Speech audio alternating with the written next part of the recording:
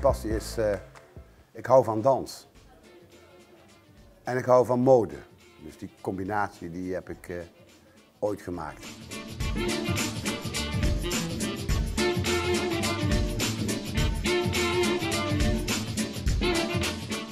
Eh, Ik hield van dansen, dus ik ben begonnen als danser. Alleen, ja, de wereld eromheen vond ik interessanter. Het maken, de coulisses, de kostuums, het technische gedeelte.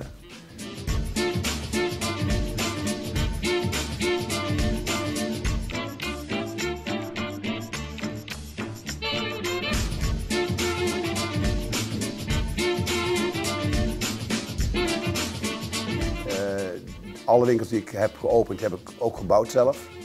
Eh, met vrienden van mij hebben wij eh, de kasten gemaakt, de, de, de stellages waar de kleding in hing, de kleurbepaling, eh, het hele interieur.